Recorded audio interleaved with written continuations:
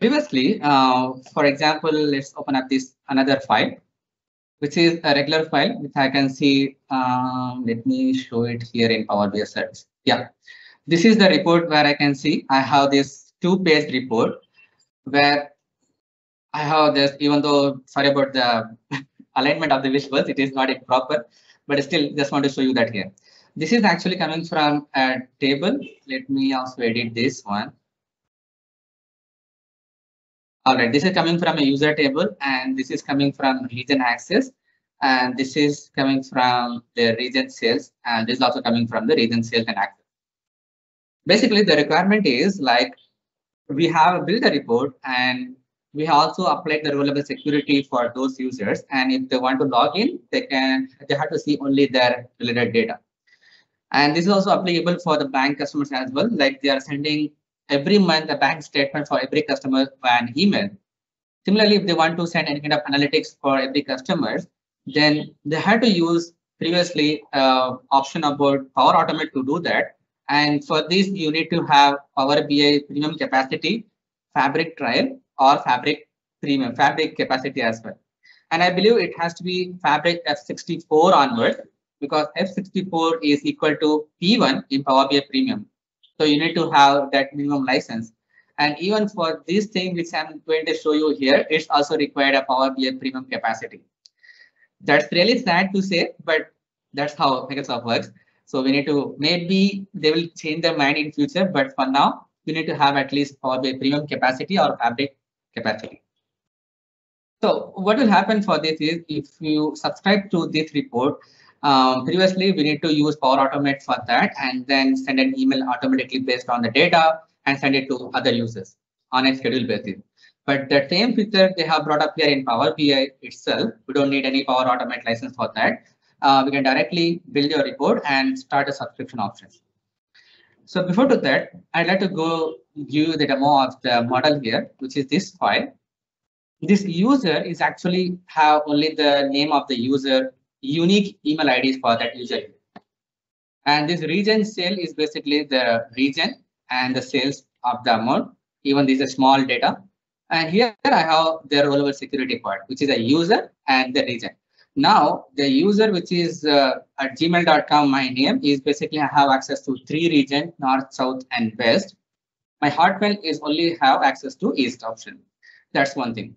After that, I build these reports here and go to modeling tab and click on manage roles. I need to click create the roles here.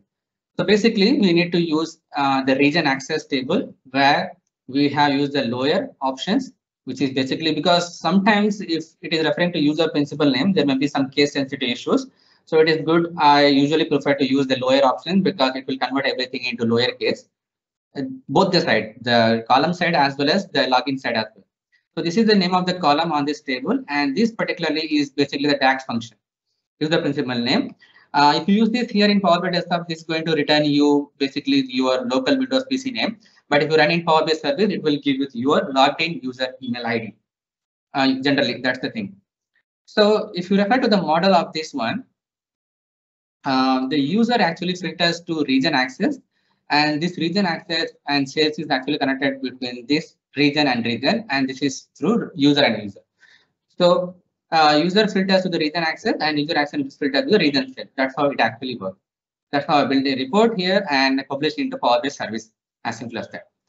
So now the output I will show you here. This is my Gmail ID where I can see it is filtered and given me a report here. And I can see it here on the screenshot of the first second page, um, which is I have three regions and one uh, showing up here in this visual. And I can also have the attachment here, which is in PDF. And this is actually the first page and also the second page here. Similarly, if I go to my another email ID, which is my Hotmail, where I can see it here, I have only to East access, East region, and I also have a PDF of two different files. That's how cool it is.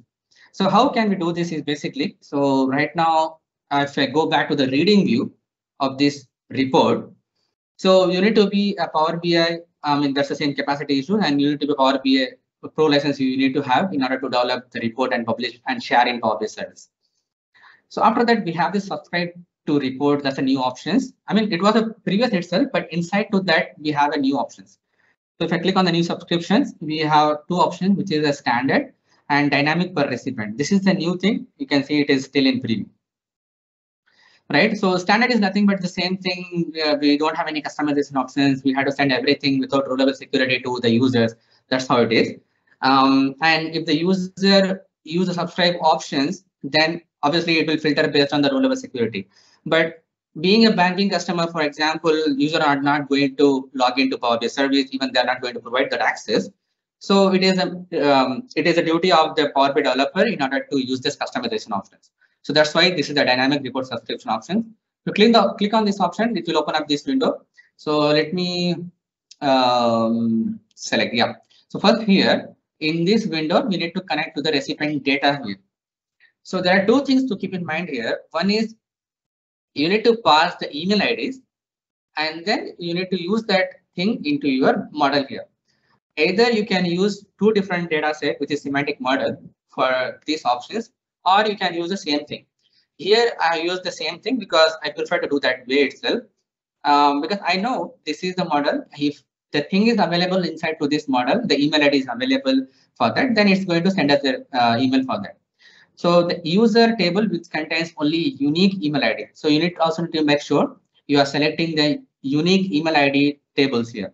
Because the email ID gets repeated here, then you will also get repeated emails for that. So here, um, this is the, basically the data set which I need to select. So selecting this data set and then click on next.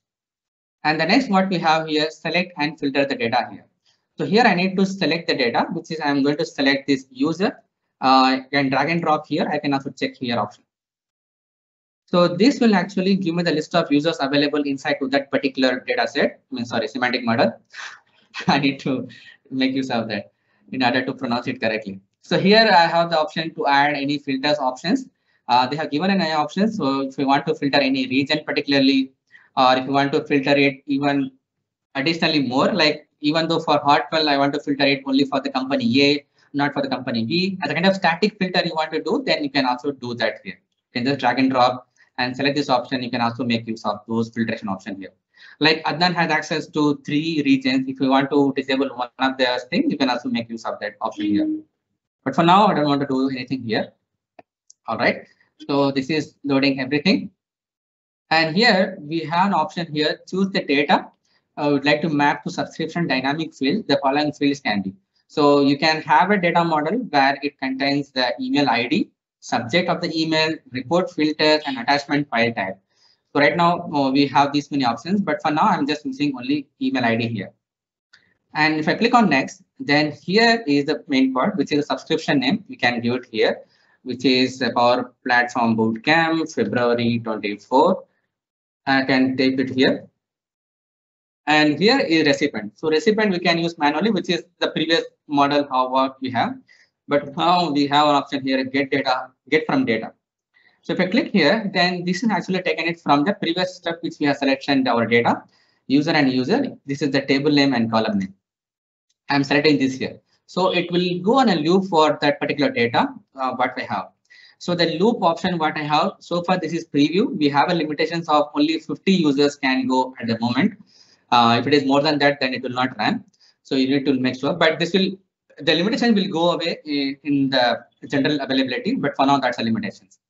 So like it was said in previous uh, step, we have multiple options to do that. Uh, get data from this. Right now, I don't have any subject which can take it from the data. So I can type it here itself, which is 2402 for example. And I can also type a message here from demo. And what you want to show on the report page and the email itself. So you want to show the report one or report two, or you want to also get it from the data itself. You want to show dynamically based on the user. You can also refer to that. So now I want to show only the page two because that is beautifully aligned for now. And you want to link the report, link to the report in the email, or you just want to send the information. And also you have a report preview. You want to do that or not. So attachment full report. Yeah, full PDF report or you want to just attach the page one or page two. I think that should be possible here, but still I need to check on that. But for now, it is showing up here full report means it will going to send you the full report itself. Yeah, there was asked in previous session like, uh, is there a possibility that we can customize based on that for user one, page one, for user two, page two kind of thing? I think that is not yet available. It will come in future. Here I'm going to select here PDF here and then click on next. And here we need to map our data here. So click on add filter, right now we have a set up there's model selections and then we need to map this to our data. So right now this is coming from our report field, uh, which is a user and user. Here I need to select the user and user.